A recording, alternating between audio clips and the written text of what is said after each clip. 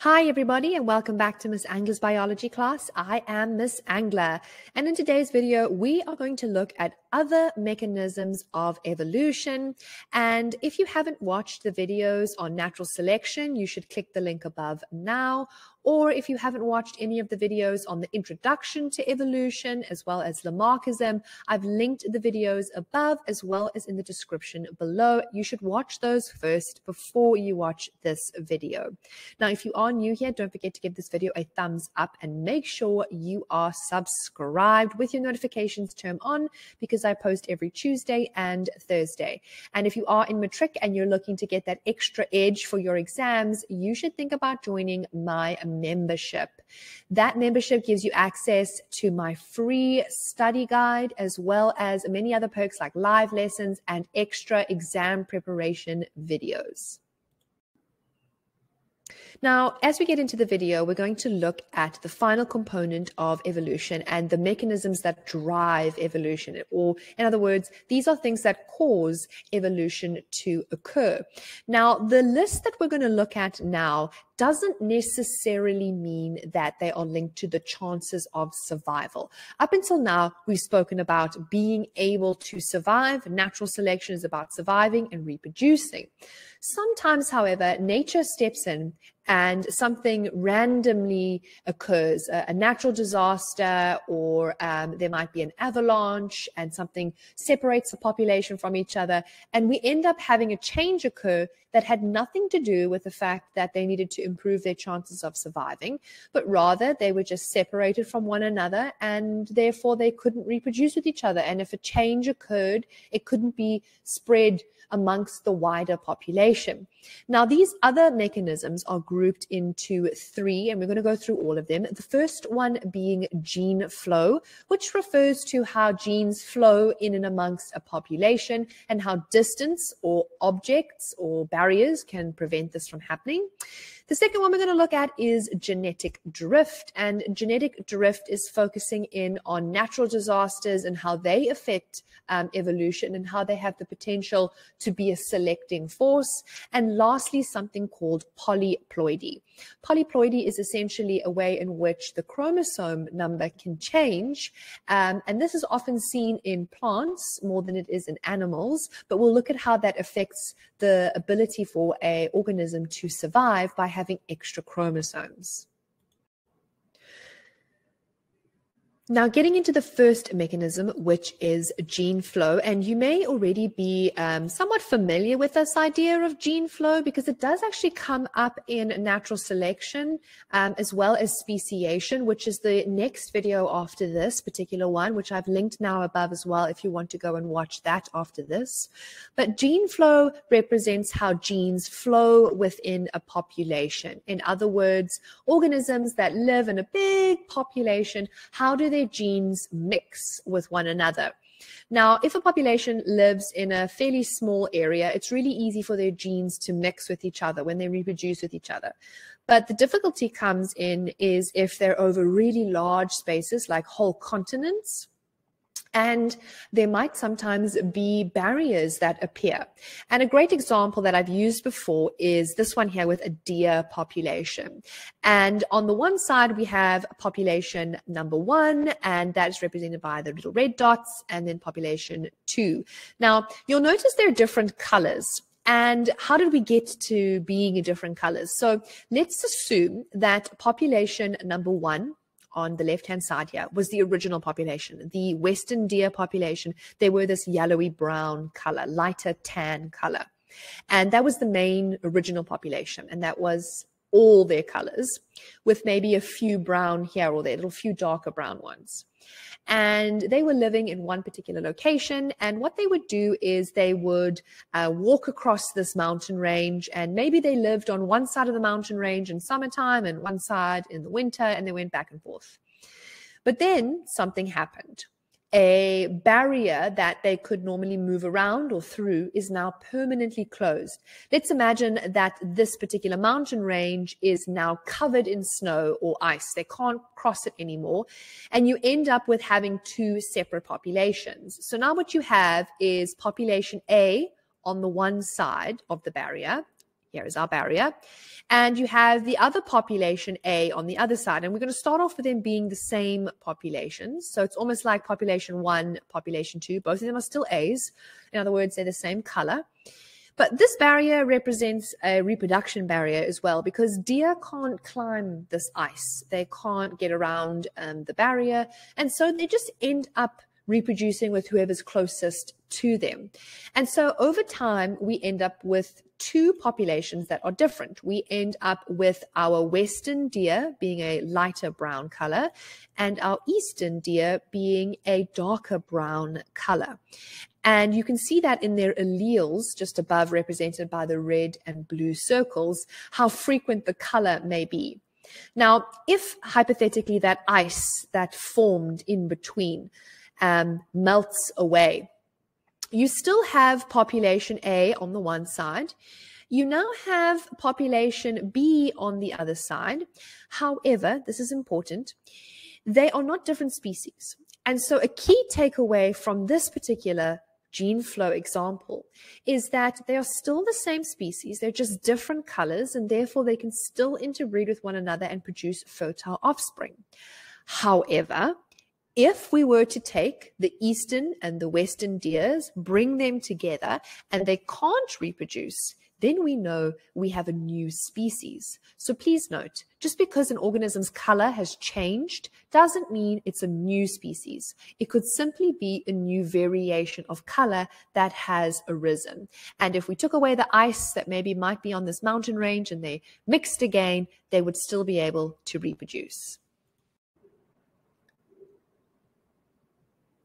The next component to our mechanisms of evolution is something called genetic drift. Now, genetic drift is an unusual one because this is linked to a natural disaster occurring where it doesn't matter if you can survive. The natural disaster takes out everybody, whether you have the advantage or not. And this can be linked to things like massive destructions, like tsunamis and volcano eruptions, where you can't really outrun the disaster.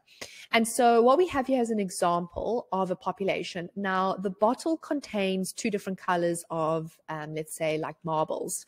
And the parent population, this one over here, the original population, they are beginning off with a fairly even amount of blue and yellow individuals. That's the same species, it's just a population that are two different colors. And some kind of natural disaster occurs in the second stage here. There's a drastic reduction.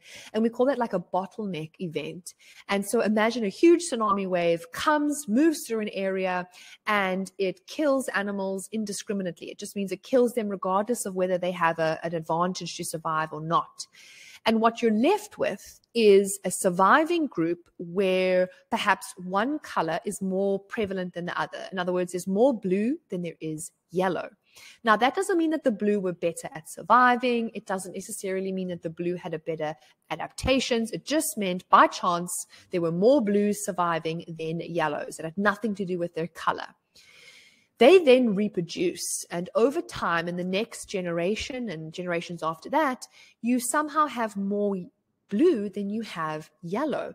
And it has nothing to do with the fact that blue is more advantageous, that it is better for survival or reproduction. It's just because there were more blue than yellow, which means the frequency of blue is higher. So naturally, you're going to have more blue babies. And we know that, and we've learned that in the genetics that that's how it can play out. What's not represented in this diagram, but I want you to imagine what it would look like, is that eventually what can happen is natural selection can step back in again and it can allow the numbers of colors to go back to being even. In other words, yellow and blue become even again. And that might be because the adaptations they have require them to be blue and also yellow. And having too many blue might be a disadvantage in the population. But this is an example of genetic drift. Now, the final component to our mechanisms for evolution is something called polyploidy. You may have heard of it before, but it references the amount of chromosome sets, um, and poly meaning more than or many, And basically, what that means is normally we have cells in our bodies that are diploid. They have sets of chromosomes. As you can see, there's one set and there's another set. And inside your body, you can make gametes, and those gametes are haploid, and they only get one chromosome from each set. And that's normally how we experience this. But certain organisms, mostly plants, they can be triploid or tetraploid, which means that they can have extra sets of chromosomes, three, sometimes four sets of full chromosomes. Now, what this produces is um, organisms that have extra chromosomes, they have more genetic material, which means it affects how they grow. Now, in animals, it's often detrimental to be triploid or tetraploid. Um, and so you don't see it that often, but goldfish are one example of organisms that can do this. It's more frequently seen in plants. And I've just included this little picture here of strawberries because they're a perfect example of what humans do to um, fruit in order to make them bigger. What you see on the right hand side, uh, the right hand strawberry, this one over here, is a normal diploid strawberry.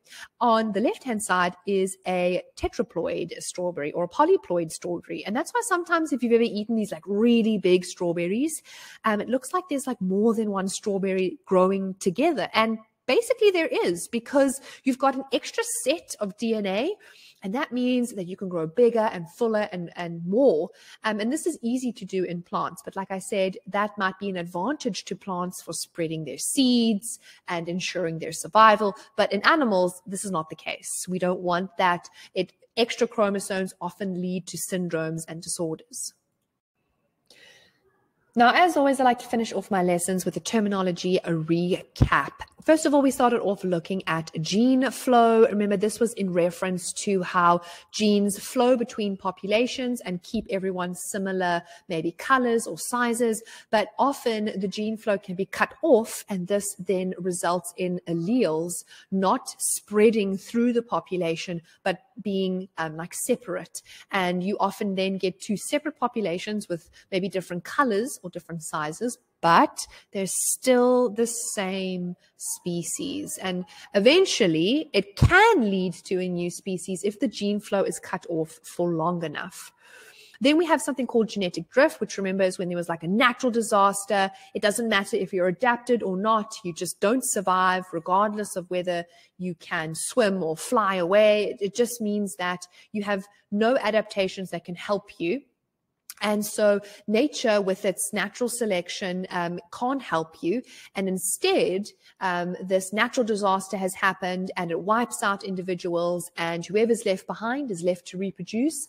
And maybe all the individuals that survive maybe are not too well adapted to their environment, but they were lucky enough to survive, so they get to reproduce. And the final mechanism was polyploidy, which, if you remember, was in reference to how many chromosomes you have. And in animals, we don't really see polyploidy very much, except for a few few exceptions. Um, and often when we talk about the number of chromosomes that organisms are supposed to have, we'll say that they are haploid in their gametes and diploid in their somatic cells. And what would be the advantage of having extra chromosomes, so being polyploidy, would mean that you could have more adaptations. You could have bigger or stronger. In the case of the fruit, you could make more bigger fruit, which means you can spread your seeds better. And so it does play an advantage because remember, everything about evolution is giving an advantage to survive and then reproduce. Now, if you like this video, don't forget to give it a thumbs up and subscribe and make sure your notifications are turned on so that you can get the newest video videos every Tuesday and Thursday. And I will see you all again soon. Bye.